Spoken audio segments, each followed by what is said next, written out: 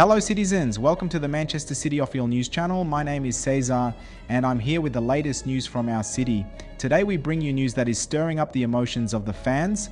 Erling Haaland is out of the crucial clash against Luton Town, and the reasons for his absence are still a mystery. But before I pass on this super news, subscribe to our channel, leave your like, and you'll receive all the news and updates from the city firsthand.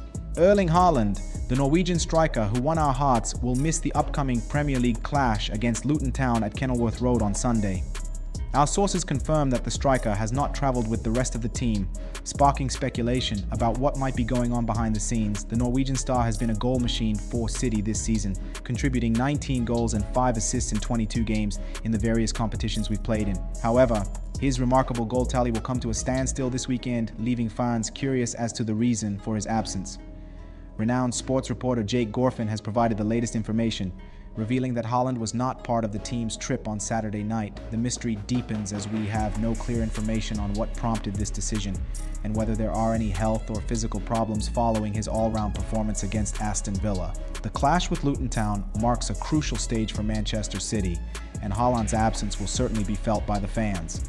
But, as always, we trust in the talent of our squad to overcome challenges. Furthermore, looking ahead, Pep Guardiola will have the opportunity to rest and rotate the squad in the UEFA Champions League group stage, facing Serbian side Crvena Zvezda away from home. A perfect chance to give the players a well-deserved rest after we secured first place in the group by beating RB Leipzig. So stay tuned, fans. Let's support our team unconditionally this weekend and look forward to more information on Erling Haaland's situation. As always, together we are stronger. Subscribe to our channel and share your opinions in the comments. Let's hope for Manchester City's success on the pitch today.